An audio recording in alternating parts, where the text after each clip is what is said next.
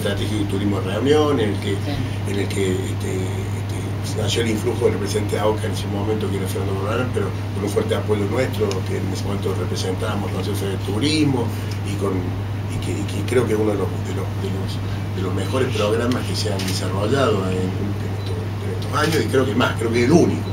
¿No? Creo que merecen otros productos argentinos tener un desarrollo equivalente, ¿no? un desarrollo planificado, un desarrollo medible, cuantificable, donde se pueden integrar provincias, donde tengamos eh, estructuras este, académicas que estén midiendo por atrás este, y tomando datos que después nos sirvan para tomar decisiones, porque si no estamos eh, eh, este, con, muy poca información en, áreas que son estratégicas, el turismo cultural religioso, el turismo activo, el turismo activo Argentina tiene una potencial de turismo activo realmente extraordinaria.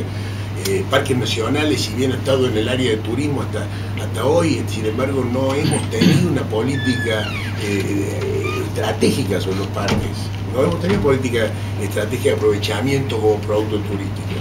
Eh, estamos en un trabajo conjunto con Sergio Berman, con el ministro de Ambiente, y vamos a hacer una fuerte apuesta al desarrollo de, nuestros parques y de, nuestras, de nuestras reservas naturales y de nuestros, nuestros espacios eh, eh, ecoturísticos como, como grandes desafíos de generación de empleo. Por ejemplo, ustedes, ustedes habrán visto que uno de los primeros pasos que dimos fue, se, se, articuló un trabajo muy interesante entre, la, fundación y la organización de, de DAP Tonkin, que lamentablemente DAP desaparecido, con, el gobierno de Corrientes. Ustedes saben que el gobierno de Corrientes tiene 500 hectáreas sobre, los esteros liberales, que Tonkin tenía alrededor de 200 hectáreas sobre, sobre esa misma parte, que Tonkin lo va a donar a parques nacionales, pero es una donación que tiene como, como, un concepto detrás que, que podamos trabajar juntos, la nación, la provincia de Corrientes, la misma organización que está haciendo el fuerte trabajo de reinserción de especies en la, zona, para crear el parque ecoturístico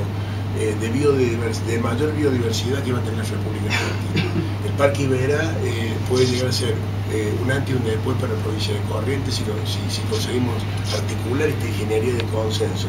entre, entre el sector, entre la nación, la provincia y el sector privado, digamos, las fuerzas locales, para, para estructurar un, desarrollar un, destino, desarrollar un producto muy fuerte que ya lo es. Que ya lo es, pero, pero, pero vos sabes que no lo es en la, en la, potencialidad que tiene, pero porque además no, no se han generado las infraestructuras necesarias. Eh, eh, allí viven aproximadamente unas 100.000 personas que son seguramente las más humildes que tiene la, provincia de Corrientes. Entonces, el trabajo comunitario que podemos hacer con ellos a través de este producto puede generar un impacto de empleo muy grande y una, una fuerte impacto en, la provincia de Corrientes.